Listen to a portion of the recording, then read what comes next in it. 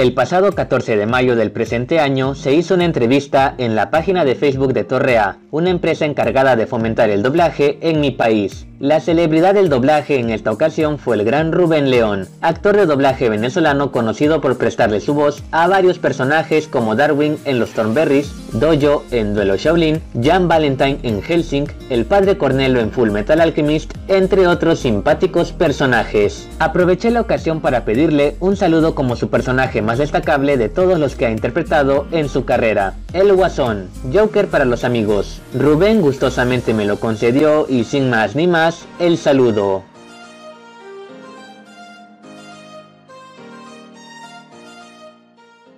Tenemos más comentarios de, la gente. A ver, vamos a verlo. Sam Leonardo Flores dice, hola señor Rubén, amo su trabajo, como el Joker en las series y películas animadas de Batman.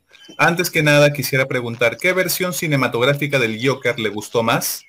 ¿Y podría enviarme un saludo como Joker? Saludos cordiales. Muy bien, Sam, eh, para darle oportunidad más rápida a los demás, eh, el film que más me encantó y que más, y que más eh, dificultad me presentó fue precisamente The Killing Joke, ¿verdad?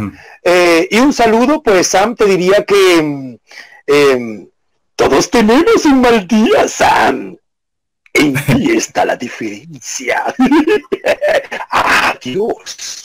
Muchas gracias a Rubén León por el saludo y muchísimas gracias a Mickey Bain y la familia Torrea por haber elaborado la entrevista. Les dejaré el link de la misma en la descripción y les recomiendo que la vean porque hay datos y anécdotas increíbles sobre la trayectoria de Rubén en el doblaje. Por ejemplo, el personaje que menos le ha gustado interpretar fue Jan Valentine, pero irónicamente es uno de los personajes al que más le han pedido interpretar en convenciones. Asimismo, en la descripción les dejaré las redes sociales de Torrea y Rubén León para que los sigan y los apoyen en su fantástico trabajo en el doblaje. Ya sin más que decir, síganme en las redes sociales y no olviden suscribirse al canal. Este fue su amigo el Sam quien les dice nos vemos, hasta la próxima.